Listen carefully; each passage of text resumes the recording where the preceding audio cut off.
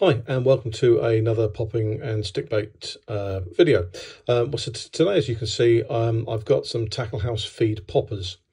Now these are pretty much the only sizes you can get in the UK. They go all the way from this little baby one down here. So this is 100 mil and 22 grams all the way up to the biggest one we can get over here. I believe this is the biggest one they actually do, being 175 mil or 87 grams. That's that's better. It's in focus now. Um, so, what these are for a start, being tackle house, they they do have some amazing details on them. If I just do it like that, then you should be able to pick it up. They are they're quite expensive for what they are. Um, you know, you can look at the big one, you're looking at over 40 quid for one of those. Um, but the, the thing with these, and this is partly the reason for, for making these videos, is you look at the big one there. So that's 175 mil long. Um, I happen to have a very convenient uh, set of calipers here. It is 27 mil in width. Um, so you think, okay, well, for 175 mil, that's quite a slim lure. If you then go the other way, this is a Rapala Magnum Xplode, the 170, so it's 5 mil shorter.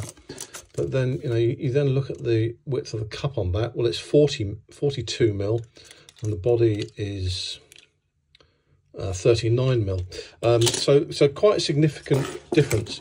Um, so the advantage to these ones is if you want to use a popper with a slim profile, therefore they're going to be nice and easy to work because they're not going to be, as the cup isn't quite so big. Um, these are going to give you the, that advantage. Um, they do cast an absolute mile. They're very stable in the air as well. Um, just to show you on the big one because it's more more visible, um, you'll see just do that there. And if I don't get myself spiked, and also on the nose,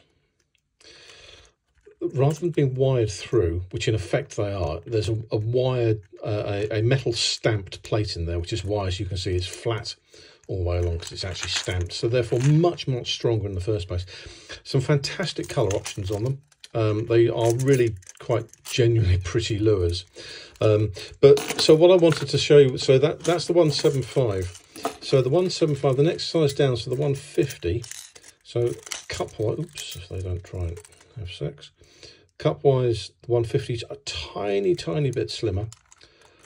Body width, yet again, not a huge amount in it. So quite a big one there. Then coming down, so this is um, the 135. So 135, let's, yeah, again, try not to spike myself. So a significant difference in cup size there. And also body size, uh, width. Um, so a relatively slim lure compared to a relatively big lure. Um, if we then come down to the 120,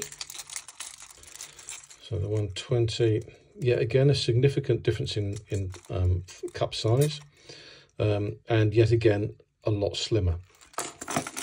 And then finally coming down to the baby of the bunch.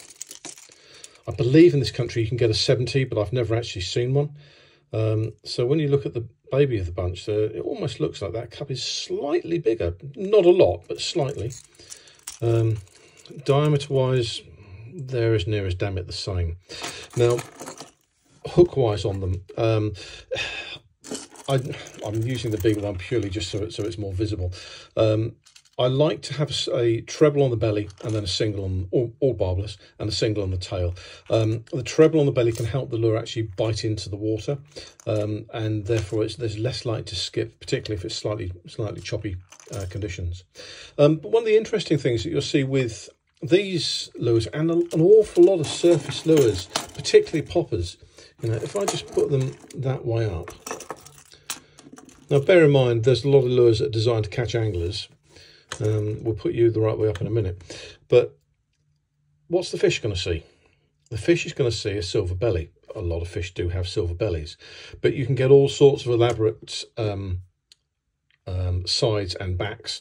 And yet, are they for them or for the fish or are they for us? Then you get something like this one. This is why I chose this particular colour because it's got a red belly, so it's quite different. Um, you know, to show some show the I do believe in showing the fish something different that they haven't seen before. Um, so what am I using on them hook wise? Uh, I tend to, if I can, only use Lone Diablos uh, BKK Lone Diablos, um, the inline singles on the tail. Um, the belly hooks, um, I believe these are owner. I'm not so, so sure, um, but I think they're owners. Um, they are, um, it's not shout, um, decoy split rings.